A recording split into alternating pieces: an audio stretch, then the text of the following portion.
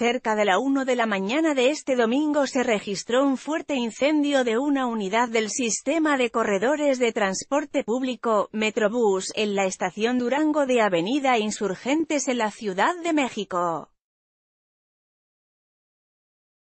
A través de redes sociales, algunos usuarios compartieron vídeos e imágenes del hecho. Posteriormente el Centro de Comando, Control, Cómputo, Comunicaciones y Contacto Ciudadano de la Ciudad de México, C5, informó que el heroico Cuerpos de Bomberos acudió al lugar para detener el fuego.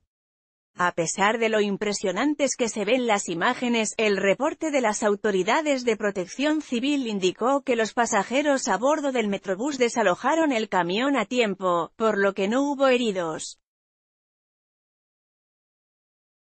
El incendio fue provocado por una falla en el sistema eléctrico, aún se desconoce la causa del incendio en el Metrobús Durango.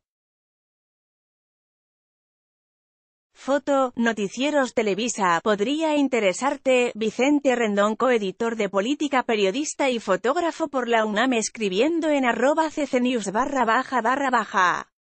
Fiel creyente de que un día habrá un México mejor.